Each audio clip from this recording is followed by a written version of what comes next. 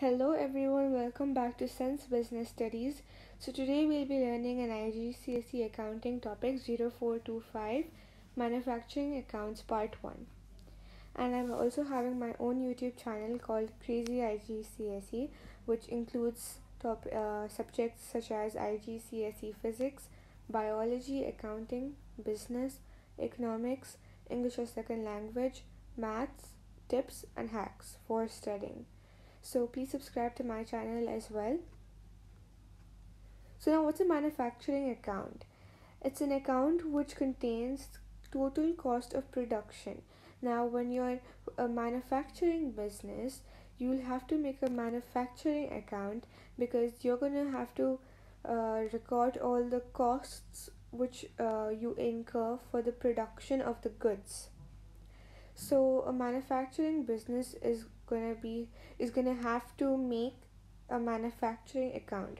But if you're a retail business then it won't be necessary to make a manufacturing account. So a manufacturing account's purpose is to record the total cost of production of the business. Now there's a thing called prime cost or direct cost. Now with the term direct cost itself you can understand that this means that the uh, cost is directly linked with the product.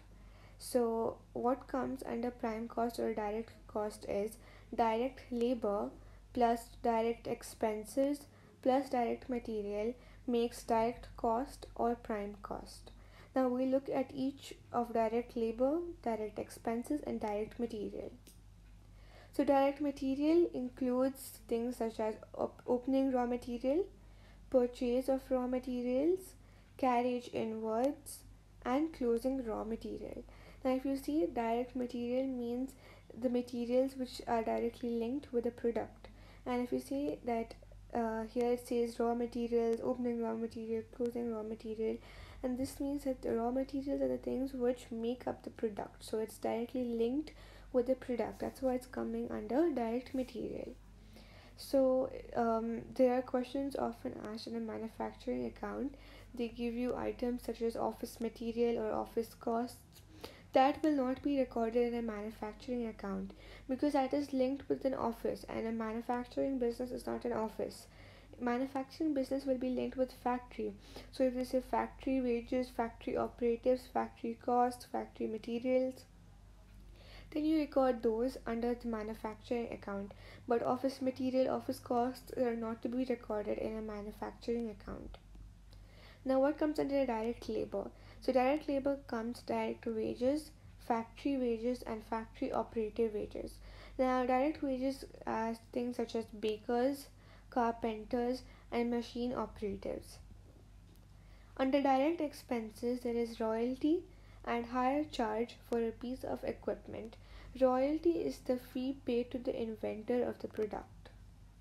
So, since it's paid to the inventor by the business, it is an expense and it's directly linked with the product. So, it comes under direct expense.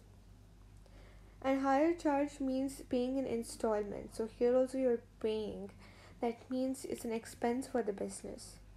Then there's another thing called total cost now, total cost is made up of the prime cost or the direct cost plus the administration cost, the selling and distribution cost, and the financial charges.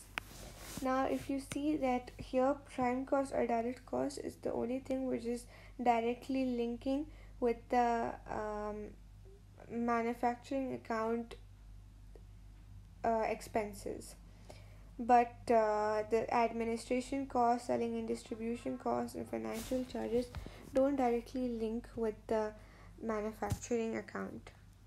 Now, there's another thing known as indirect cost. So, indirect cost is made up of indirect expenses, indirect labor, and indirect material. The indirect cost, as the name suggests, it is not linking to the product. Under indirect expenses, comes rent of factory, depreciation of factory and machinery, and depreciation on loose tools.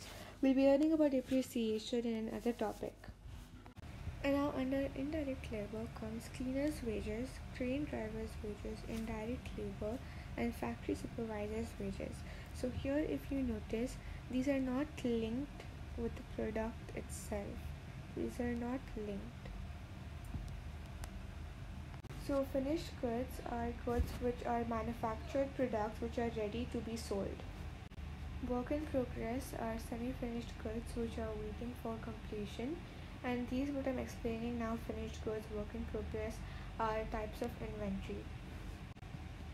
And previously I did not uh, tell what are uh, the things which come under indirect materials. So first is lubricants oil tools hand gloves these don't come directly uh, linking with the product and under indirect expenses there are also things such as factory lighting electricity factory power general factory expenses and the cost of operating forklift trucks. Now the third type of inventory is cost of uh, sorry raw materials. That means the cost of the total component parts which are needed to make the product. And these raw materials are currently in stock with the business. Also, it has not been used in the work in progress nor the finished goods type of inventory. For more, check out www.sensebusiness.co.uk. So, this is the end of our topic, part 1 theory of manufacturing accounts. Check part 2 for the solving of the manufacturing account. Please subscribe, like, share, and comment. Thank you very much for watching Sense Business Studies.